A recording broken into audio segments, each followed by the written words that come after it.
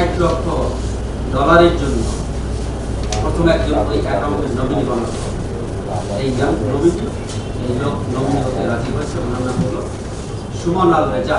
চল্লিশ বয়স চল্লিশ। সুমন আল রেজা ওনাকে এই বিজি ন্যান্সি মোহাম্মদ।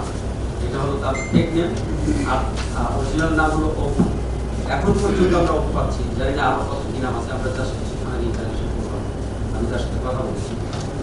সে তাকে নমিনি করে দেবে এবং করে দেওয়ার পরে এই টাকার উল্টো করবে উল্টো করে সেই টাকা কোরিয়ারে বাংলাদেশে পাঠাবে। তিরিশ লক্ষ ইউএসডি ডলার কোরিয়ার বাংলাদেশে পাঠাবে।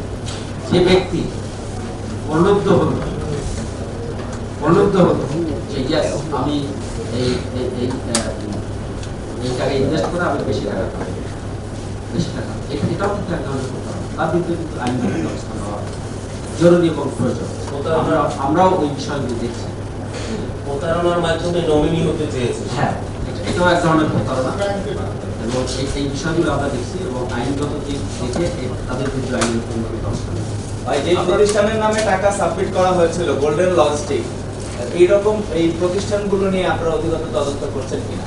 হ্যাঁ এই যে গোল্ডেন লজিস্টিক এন্টারপ্রাইজ এই গোল্ডেন লজিস্টিক এন্টারপ্রাইজ এটাকে নিয়ে আমরা ইনভেস্টিগেশন নেমেছি এটা আরজিআরসি কোনো রেজিস্টার্ড না, আমরা এরকম যদি পাই, তাহলে এই প্রতারণার মামলাকে মানি লন্ডারিং মামলায় আমরা টানব সেই ক্ষেত্রে টার্ম নিতে গিয়ে আমরা যেটা করব, যে তাদের এই প্রতারণা করে কি কি আছে, কি কি জায়গা, জমি, সম্পত্তি তারা গড়েছে, এগুলি বিরুদ্ধে আমরা ব্যবস্থা।